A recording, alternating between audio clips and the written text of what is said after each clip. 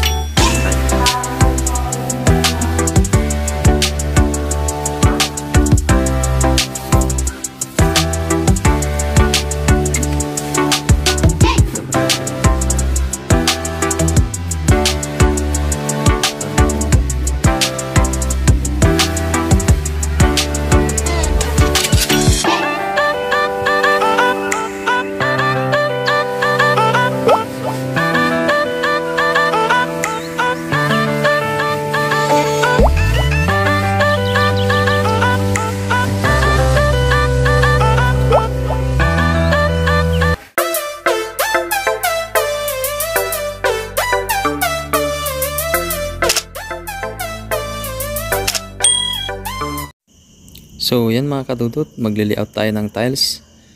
Ah, mga kadudot, always na pag magli-layout tayo ng tiles, dito tayo sa main door tayo magkukuha ng sukat at magli-layout.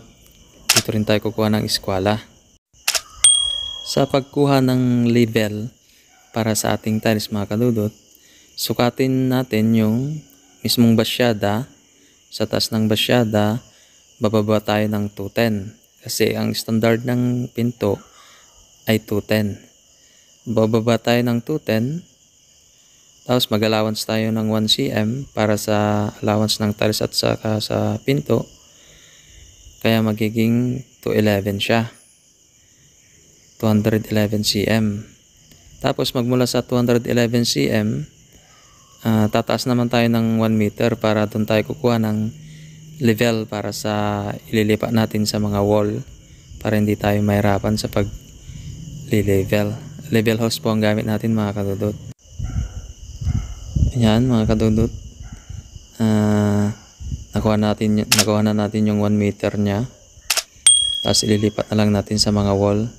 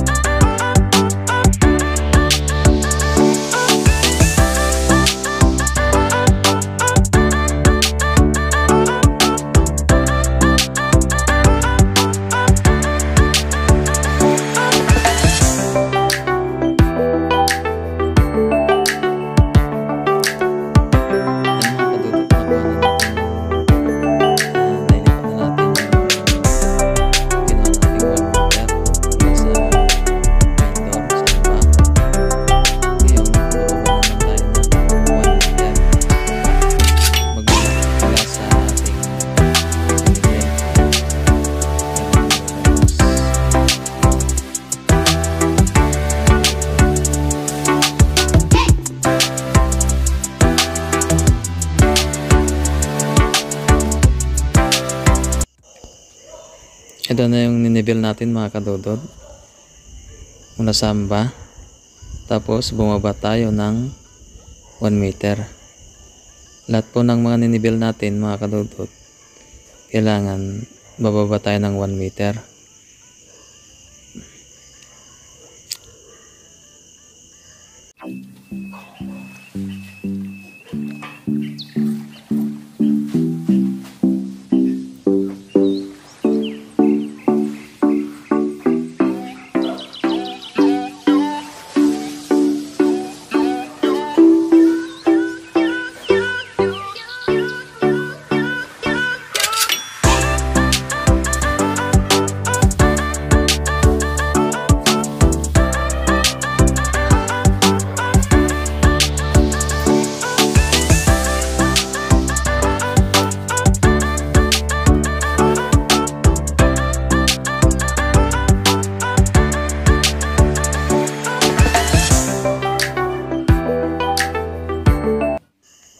Sa pagli-layout ng tiles mga kadudot, may dalawang option kaming ginagawa. Pwede yung lapad ng hamba, pwedeng hatiin, at yun ang kukunin para iskwalahin. Uh, yun ang umpisa ng layout ng tiles natin mga kadudot. Yan, kukunin natin yung sentro. Tapos, isisentro natin yung tiles. Ganyan. Yan yung unang option natin mga kadudot. Pero depende kung susukatan natin yung walling sa susunod na katabing tiles kung kulang or kulang or sobrang sukat. Kasi yung tiles natin 40 by 40 titignan natin kung sa sasakto yung isa or dalawang tiles. Pero kapag hindi pwede nating isentro mismo yung tiles. Ganyan mga kadudot dalawang option po ang ginagawa namin. Pwedeng nakasentro yung buo pwede yung pwede naman pwede naman yung sa mismong yan sa mismong pagitan nila ang AC sentro mga kaludot ganyan po ang paglilayout namin ng tiles. So yan mga kadudot na kuha na natin yung eskwala at layout nya ang kinuha nating option is sinitro natin yung pagitan. Yan mga kadudot. Nilagyan na rin natin ng tansi hanggang sa dulo para pwede na tayong mag-install.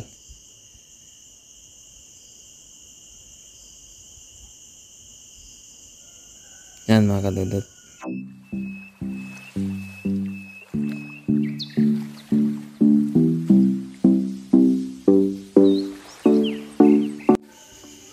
Ratio pala ng ating halo mga kadudot is 3 is to 1. Tatlong balding uh, na nasalandra ng buhangin at saka isang semento po. Yan, halo-haloy na. Dry pack po ang ating timpla para sa ating mortal.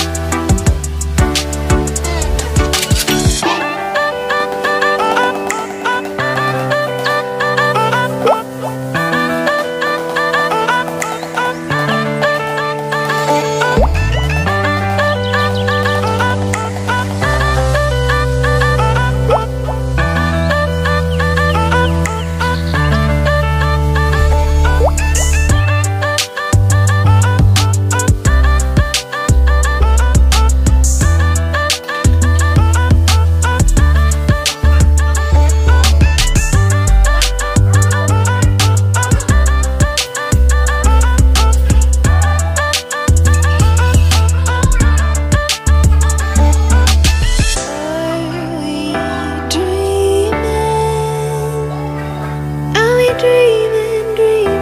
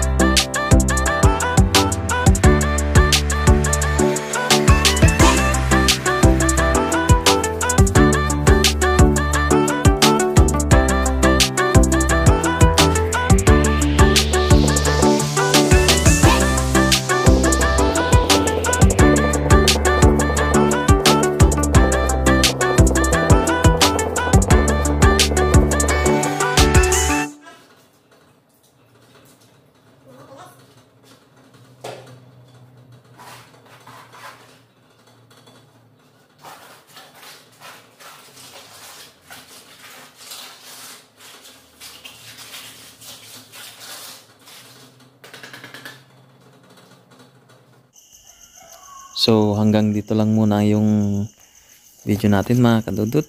Ah, yung part 2 natin, ah, ituturo po namin kung paano mag zero ho.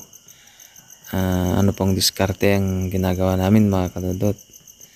Ah, so maraming salamat po. Sana po nagustuhan nyo ang ating video. Ah, hanggang sa susunod, paalam.